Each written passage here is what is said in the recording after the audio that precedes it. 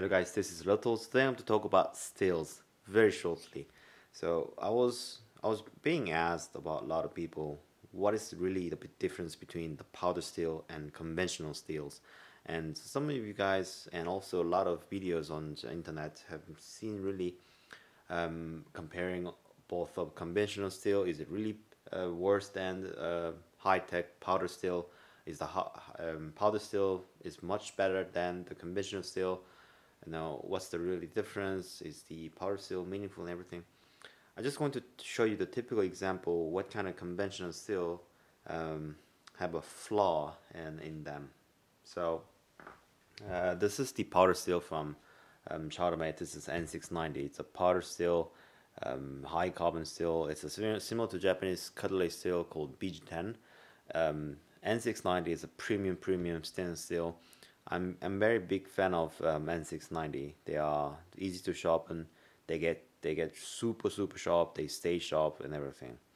Now this is the uh, conventional steel, and uh, I just want to show you exactly what's really wrong with the conventional steel um, from being a manufacturing process being conventional. So as you can see here, guys, if you see, see these things closely here can you see this mark over here like this? And then you see a pinhole over here yeah?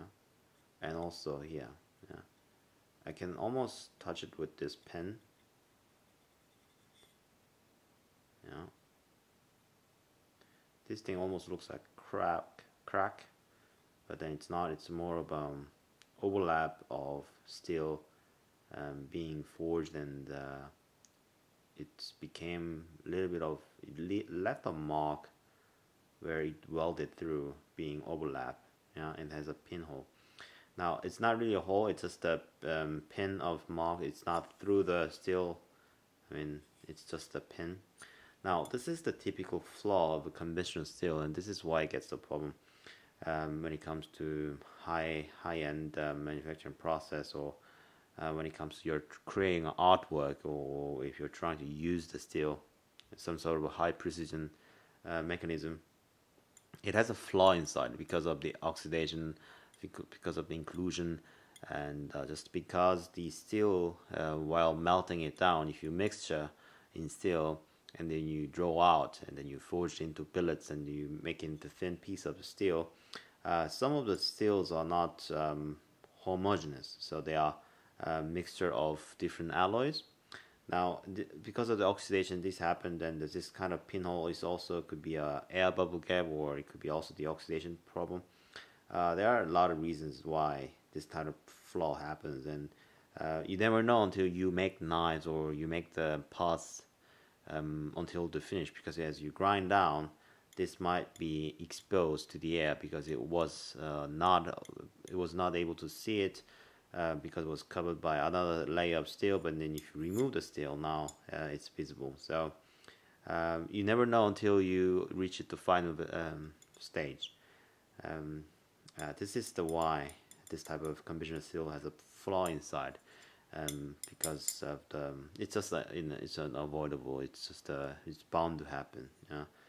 Um, so if you have a really high-end expensive knife if you have this in your knife mean, that's a disaster, right? So as a maker also, it's good to have it um, as a powder steel and also customer also, it's better to have it like this.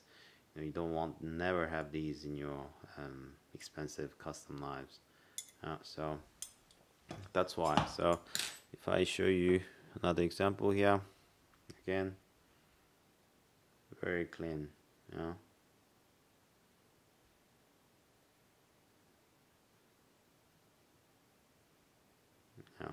That is it so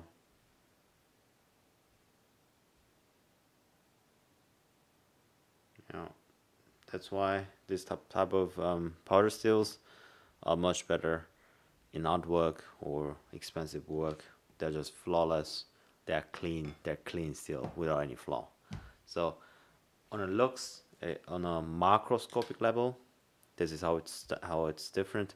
Of course microstructure level it's uh, it's also um, it's uh, there's a huge difference.